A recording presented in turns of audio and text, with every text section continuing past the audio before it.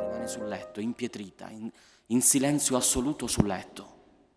Dopo pochi minuti, venti minuti, torna dalla mamma in cucina e con grande sorpresa il suo volto era splendido, era luminoso. Aveva accettato.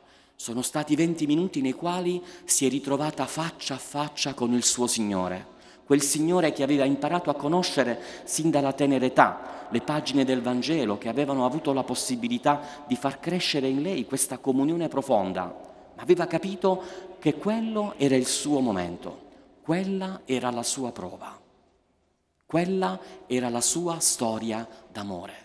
Da quella porta, da quel passaggio, avrebbe guadagnato l'entrata a pieno titolo nella cittadinanza di questa Gerusalemme verso la quale noi tutti siamo incamminati. Ecco, una storia fra mille, fra miliardi di storie che la Chiesa propone, ma questo deve darci la possibilità quest'oggi, nel luogo in cui Padre Pio è vissuto, un grande santo, la possibilità, ecco, di rivolgerci al Signore e chiedere a Lui, Signore, io non so qual è la prova che tu hai pensato per me, ma quel giorno, in quel momento, non lasciarmi terrorizzare, non lasciare che sia terrorizzato dai pensieri più brutti. Dammi la possibilità di scorgere il tuo sguardo e ti seguirò con tutta la gioia del cuore fin dove tu vorrai.